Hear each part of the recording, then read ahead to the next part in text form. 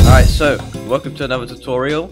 Today I will teach you this viral trace and blob effect that's currently trending on a lot of edits. So I'm gonna do a quick tutorial on how you can do this in DaVinci Resolve. Let's get into it. Alright, so once you're in DaVinci Resolve, you have your clip ready.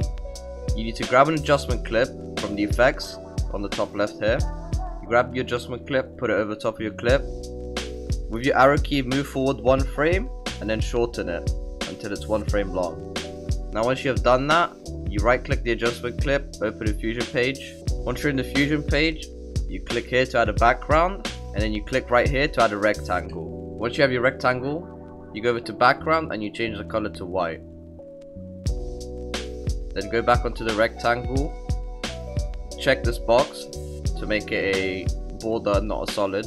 Now this is where you can sort of start getting creative because once you add your rectangle, usually what I'd like to do is make the border width quite high as that will make it the focal point of whatever you're trying to mainly focus on. So right now I'm mainly focused on the eyes. So once you have your first rectangle, what you can do is you can control C and then control V to place another one.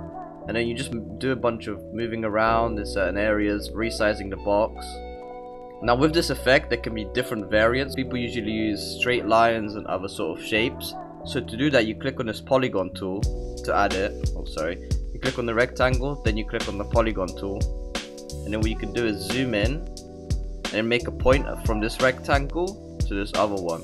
And just sort of like experiment with whatever you think will look good. So I've gone for something like this and then like sort of connect it and then raise the, the border width and then this is what it will sort of turn out like. Now what you can also do is add these B-spline. These are like curved points so you can put a point here, here and then here. And then you can see it'll create this curved line. It create this curved line right here. Grab these points and you can sort of move around any way you want. Now for the text part you need to click the merge one node and then add the text like that. This effect people usually like to put random numbers so that I'm just gonna do it right now. Something like this. And I usually like the font Arial. That's a good font to use for this make the size very small also I'd like to lower the opacity to around 0.6 maybe and then I'd just place them around in multiple areas.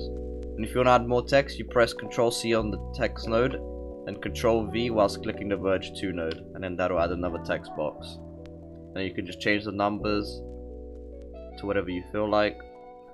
Now, once you have your first scene ready, or your first frame of the clip, because you're to need to change it, so you get your adjustment clip again, and you basically do the same thing as you did as the other one, but obviously change the focal point to something else, add a bunch of different other shapes.